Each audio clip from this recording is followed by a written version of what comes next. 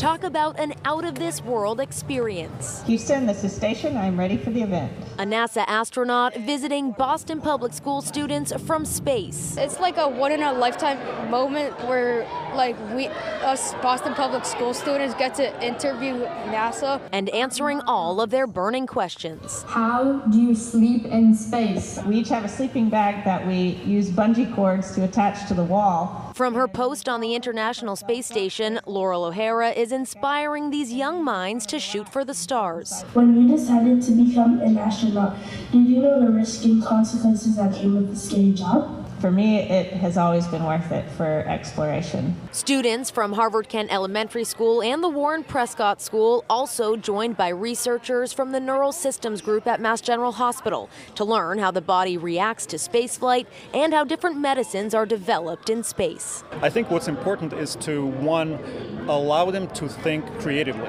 and not to be afraid of science, because science really can be fun. It's excellent because this is an opportunity for learning to come alive. As these students come back down to Earth, they're realizing that the sky is definitely not the limit. I think it would be great to work at NASA because you would learn so much science about uh, space and like the world outside of Earth. I wanted to do that, um, be an astronaut before this, but it makes me even want more to be one. These students are just over the moon having heard from an astronaut actually living in space and getting to test out some of the fancy technology being developed at MGH. In Charlestown, Brianna Borgi, WCVB News Center 5.